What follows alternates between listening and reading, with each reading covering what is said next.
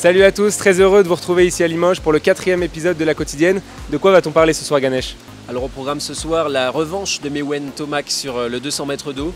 Euh, Marie Wattel aussi également qui s'impose euh, sur le 100 mètres nage libre en patronne. Et puis la mauvaise nouvelle du jour, le forfait de Florent Manodou demain sur le 50 mètres nage libre.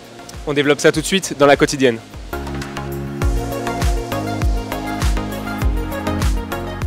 Mewen Tomac qui a pris sa revanche sur Johan Endoy après sa deuxième place sur 100 mètres d'eau en début de semaine il s'est imposé sur ce 200 mètres d'eau ce soir, Ganesh. Oui, une très belle victoire pour euh, Mewen Tomac puisqu'il est parti très vite et il a tenu, il a tenu et il a même réalisé la meilleure performance mondiale de l'année sur ce 200 mètres d'eau. Il s'impose donc devant euh, Johan Endoy Brouard, Antoine Herlem et Mathieu Geoffroy. Une course aboutie pour Mewen Tomac qu'on écoute tout de suite. Je pense que c'est une des courses où j'ai bien réussi à gérer. D'habitude, au 200 d'eau, c'est plus je pars vite et je craque à la fin. Là, je, je trouve que je tiens plutôt bien, donc euh, je suis content de cette course. Ouais, un petit peu. Il euh, faut quand même que je gagne de temps en temps, donc ouais, c'est sûr que ça fait plaisir de gagner. Marie Wattel qui s'impose en patronne sur ce 100 mètres nage libre devant Charlotte Bonnet après la légère déception du 100 mètres papillon en début de semaine. Quelle course Ganesh ce soir? Ah oui, quelle course extraordinaire. Les deux nageuses ont vraiment été au coude à coude du début à la fin. Elles sont même passées ex aequo aux 50 mètres. Finalement, c'est un petit avantage pour Marie Wattel qui s'impose euh, à 3 centièmes d'écart devant euh, Charlotte Bonnet. Et euh, ces deux performances leur permettent d'intégrer le top 10 mondial de la saison sur cette épreuve. Et Marie Wattel, qui avec ce temps est officiellement qualifiée pour les championnats du monde de Budapest et les Euros de Rome cet été.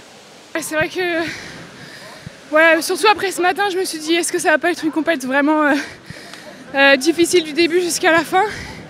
Et vraiment, je me suis appuyée sur le fait que qu'avec Charlotte on allait se faire la course et je me suis dit qu'on allait s'emmener toutes les deux vers, euh, vers un beau chrono et je pensais pas que ce serait euh, aussi difficile jusqu'à la fin. Et euh, je pense que comme, comme Charlotte, j'ai les dix derniers mètres, j'ai gardé la tête droite et j'ai tout donné et au final ça s'est joué au centième mais je suis contente de décrocher une qualif. On vient d'apprendre le forfait de Florent Manodou pour le 50 mètres nage libre de demain ici à Limoges à la suite d'une inflammation musculaire contractée à l'issue du 50 mètres brasse hier Ganesh. Effectivement, Jonathan, la tête de gondole de la natation française ne sera pas au départ du 50 mètres nage libre demain. Il n'y aura donc pas de revanche face à Maxime Grousset qui lui avait subtilisé son titre l'année dernière à Chartres sur la distance. Florent Manodou, qui a réalisé le temps de qualification cet été aux Jeux Olympiques de Tokyo, n'aura malgré tout plus son destin entre ses mains pour se qualifier pour les championnats du monde de Budapest sur la distance. Merci à tous de nous avoir suivis pour ce nouvel épisode de la quotidienne et on se retrouve demain pour de nouvelles aventures Ganesh. À demain.